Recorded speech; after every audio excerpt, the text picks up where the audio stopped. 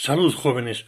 Hoy vamos a ver algunas reacciones características del hierro 2 en forma de sulfato ferroso. Así que he preparado una disolución y lo voy a enfrentar a una serie de reactivos, empezando con el hidróxido potásico. Aquí en principio lo que tiene que hacer es producirse la precipitación de el hidróxido de hierro ferroso, que es blanco, prácticamente incoloro. Efectivamente, si aquí no se ve ningún color pardo por el momento, es porque estamos ante hierro 2. Bien, pero veremos cómo al cabo del tiempo eso puede evolucionar por oxidación en el aire y se transforma en hierro 3 y será pardo.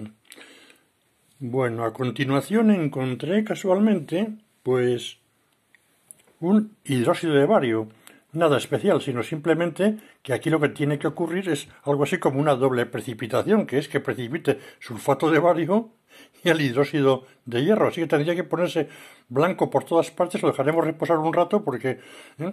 para que evolucione y se forme todo, vamos, blanco por todas partes, como digo, de dos precipitados. Bueno, el siguiente sería el tratamiento con amoníaco. Vamos a ver. No lo he sacado para que no apeste todo el tiempo el amoníaco, así que ahora colocaremos aquí una gota de amoníaco concentrado. una gota grande ha sido. Bien. Y vamos con el sulfato ferroso. Bien.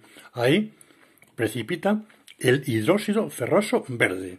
Se le ve clarísimamente. Bueno, pues muy bien. Vamos ahora con el carbonato sódico a ver si precipita un carbonato ferroso similar. Bien, sí, también se le ve bien. Bueno, ahora iríamos con agua oxigenada para ver cómo se oxida. A ver, por aquí. Uh, una gota bien gorda ha salido, sí, ven. Y vamos con el hierro 2 que deberá de oxidarse a hierro 3. Bueno, no hay ninguna duda de que inmediatamente, ¿verdad? Vale. Vamos a ver ahora qué pasa con el ácido oxálico, que en principio debería darnos un oxalato de hierro 2, que es un compuesto bastante interesante porque es de los que cuando se descompone térmicamente deja un residuo de, óxido de hierro bajo, muy mal definido, pero que es pirofórico. A ver qué hace.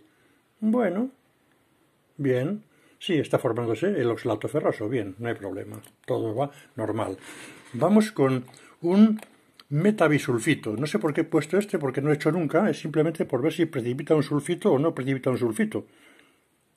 Pero no tengo claro, porque no tendría, no, conozco justamente esta reacción. No, lo dejaremos ahí a ver cómo, cómo evoluciona. El yoduro amónico sí, sí lo he seleccionado el yoduro amónico porque no deja de ser un indicador de hasta qué punto existe algo de hierro 3, porque como sabemos el hierro 3 se al ion yoduro hasta yodo, ¿eh? y como yodo es muy escandaloso, pues es muy sensible y tal. Bueno, me da a mí la impresión de que tenemos una sal ferrosa francamente buena, aunque no sea la sal de mor, que es la que diríamos más estable. Vamos a ver con un santato, el metil santato de sodio. Vamos a ver si se forma un complejito y cómo es. Bueno, aquí no se puede ver ninguna mucha maravilla porque encima se forma una... No, ya se quitará eso. Vamos ahora con un bueno, dietil ditiocarbamato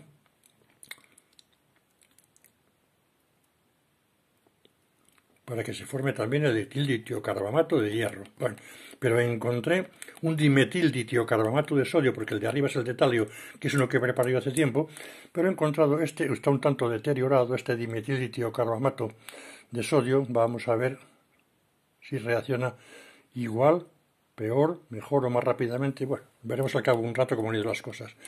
Aquí he colocado la ortofenantrolina, porque como sabemos la ortofenantrolina y las bipiridinas pues forman complejos, bueno, ya ves, ¿eh? Son este es famosísimo, ¿verdad? El de la eh, ortofenantrolina. Bien, ahora tengo aquí un ferrocianuro, que en principio el ferrocianuro no debe hacer nada de particular porque sería un ferrocianuro, bueno, perdón, sí, un ferrocianuro ferroso, ¿eh? lo mismo. Con un sulfuro de sodio vamos a ver si se forma un sulfuro negro, pues si no se forma un sulfuro negro, este sulfuro debe ser yo que sé qué, porque el sulfuro de sodio, perdón, el sulfuro de hierro típicamente negro, vamos, está más que visto. Y no creo que el medio sea ácido para que no se forme. En fin, aquí he colocado un ácido etilenglicosano tetracético, que es un agente complejante, que lo que debería hacer pues será mantener en disolución al hierro 2. Bueno.